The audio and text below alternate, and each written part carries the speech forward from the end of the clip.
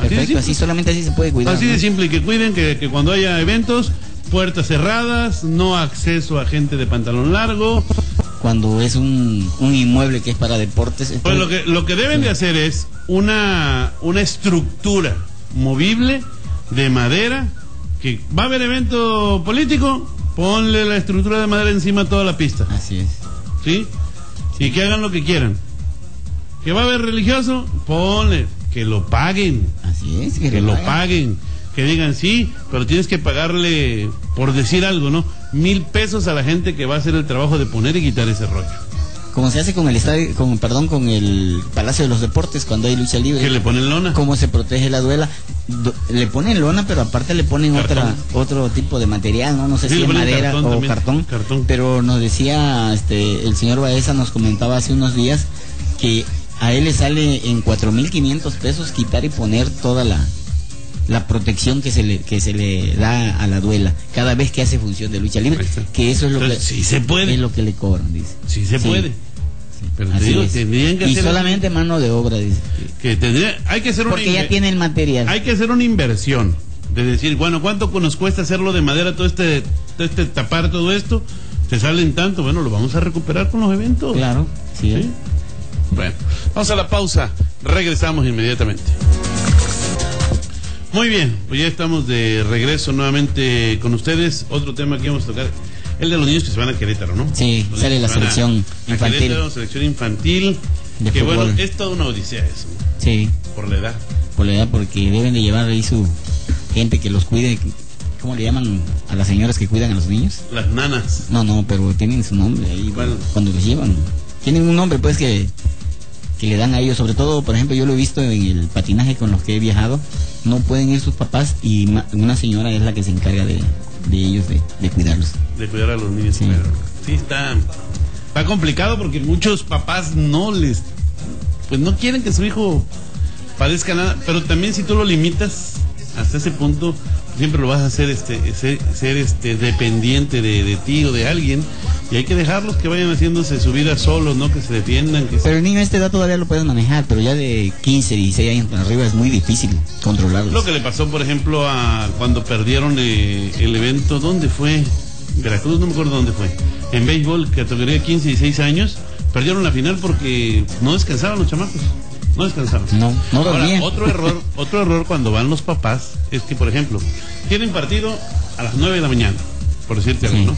El día anterior llegan, los meten a la alberca, nadan, andan, brincan, Que se diviertan. que mete a la playa, vámonos al centro, tiqui, tiqui. el niño llega a la cama rendido. Sí. Y el día siguiente va a jugar, a la- por lo regular estos partidos, estos eventos infantiles Sí. son en la mañana. Así es. Juegan Ya llegan la cansados. mañana, a las 9 de la mañana, o sea, llegan muertos. Y a veces también los entrenadores por eso no les gusta que vayan los papás. Porque van y se los sacan de los hoteles.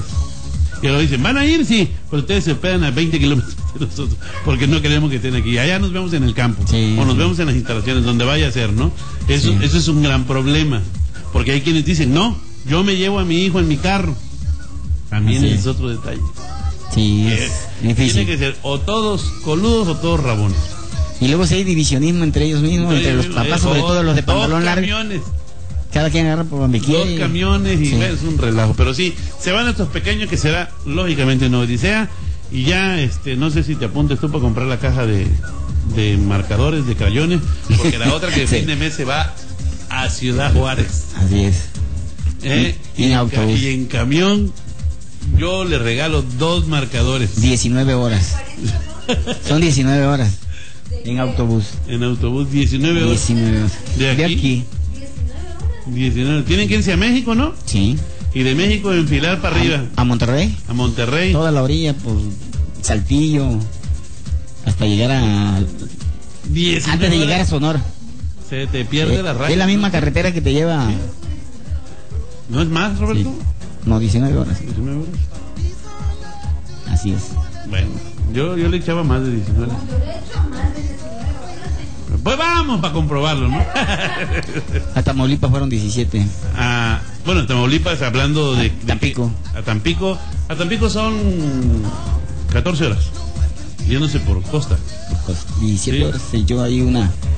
Un familiar que fue Pero es hace que- una semana. ¿En autobús? En autobús. Así. Bueno, Pero de es todas maneras, van a necesitar este marcador, ¿eh? Para pintarse la raya.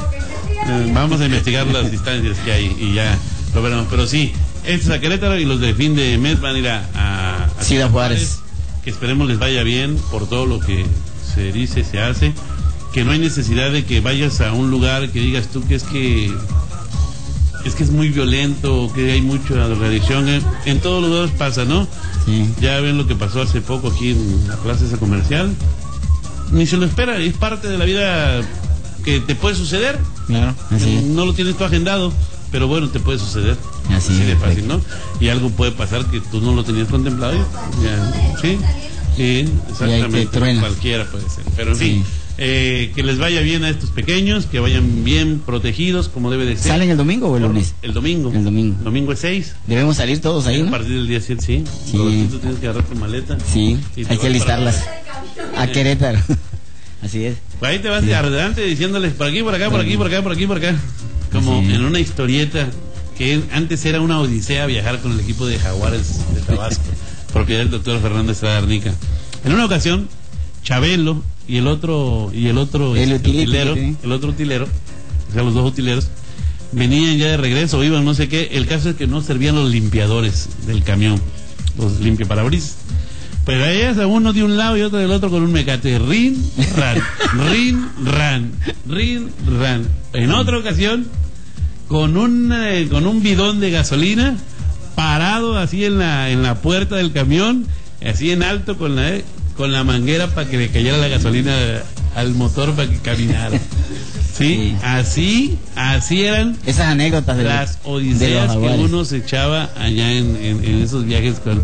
Una ocasión se para el camión en un X lugar, ¿no? Se para, pero se paró hacia adentro, pues, o sea, no pegado a la carretera.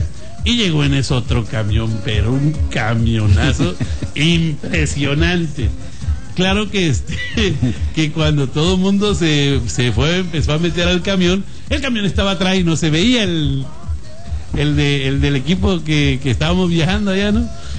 Y este, y sale ya, cuando- bueno, ya se subieron todos. Y la gente que estaba ahí pensó que, que todos se habían subido al camión. Todos iban en el nuevo. El nuevo. Cuando dale, tic, tic, tic, tic, tic, tic. Es un camión. La- en la cafetera, ¿no? No, no, no, no. Qué odisea. Nos mandaba decir el doctor Estrada, por ejemplo. No, pues que una trivia por ahí, que el que adivine viaja con el equipo. Le, decía. Le- le- le- no, le preguntaba yo al doctor, a manera de vacile, doctor, ¿es premio o es castigo? sí, ¿es premio o es castigo, no? Pero son unas experiencias que no se te olvidan. Así es. Que no se te olvidan, que te sirven para muchísimo tiempo. Ah, en la actualidad, el equipo de Cacaoteros se pedía el camión de del colegio de bachilleres. Yo tenía, eh, como andaba mucho con ellos, les ayudaba yo para que consiguieran ese transporte en una ciudad de Chiapas, que, que son zonas serranas. Tuvieron que bajarse todos para que el camión pudiera subir. No Fíjate. subía con la gente arriba, Había que- no le daba para subir al Había que empujarlo. bueno, ¿qué? Pues bájense todos a ver si sí, ya con todos abajo, con trabajo, subía la, la cuesta y órale, otra vez todos para arriba y... Así es. no, no, no. Pues súbanse rápido porque si no, no van a, van a poder, bueno, ¿no? este, Juan Carlos, acusamos recibo de un mensaje que nos envió el amigo este Mateo Hernández Peralta que su equipo, el Real Casablanca, juega a las 4 de la tarde en el campo de Sicón, donde llega toda la veteranada de la colonia. El Real Casablanca por ahí va a estar jugando. Muy bien, pues ya con eso nos despedimos, dando ese acuse de recibo. Muchísimas gracias por habernos acompañado una vez más aquí en Autoridad Deportiva Extremo. Aura Nares en los controles técnicos, Roberto Rivero. Nos vemos mañana. Nos vemos mañana a través de la radio, creo que sí, y esperemos contar con su audiencia. Hasta mañana.